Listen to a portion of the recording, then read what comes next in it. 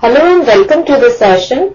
In this session, we'll discuss a question which says that identify the axis of symmetry and the vertex for the given functions. Also compare the graphs of the functions. And the functions are given to us as y is equal to minus 2x square and y is equal to minus 2 into x minus 5 whole square plus 5 now let us start with the solution of the given question. Now we are given two quadratic functions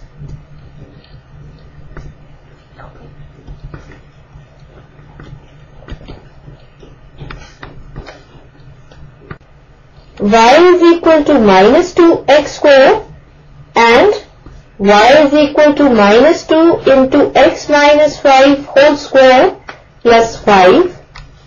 Now we know that equation of quadratic function in vertex form is given by y is equal to a into x minus h whole square plus k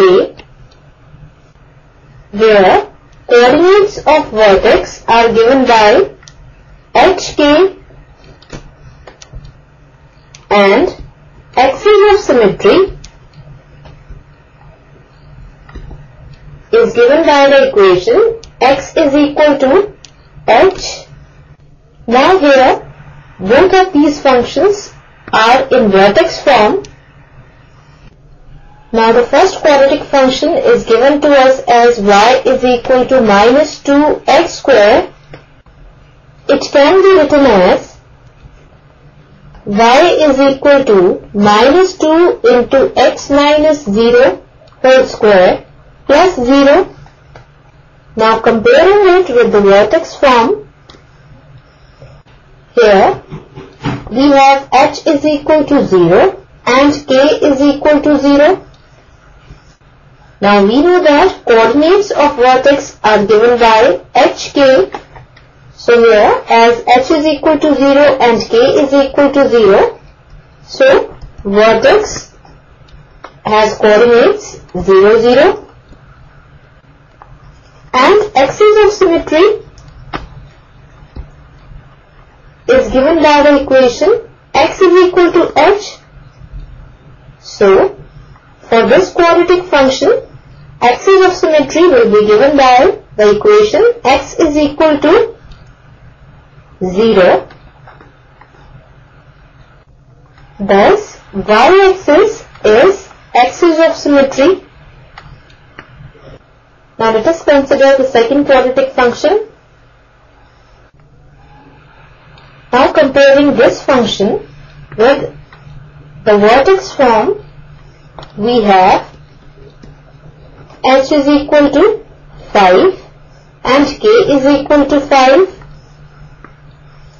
Therefore, coordinates of vertex are given by 5, 5 and axis of symmetry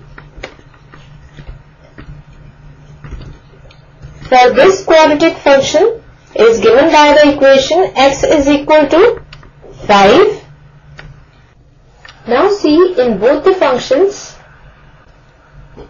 a is equal to minus 2 which is less than 0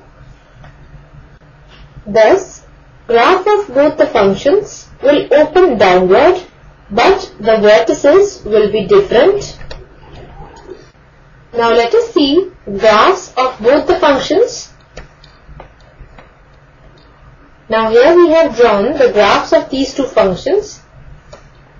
Now this is the graph of the function y is equal to minus 2 into x minus 5 whole square plus 5 and this is the graph of the function y is equal to minus 2x square.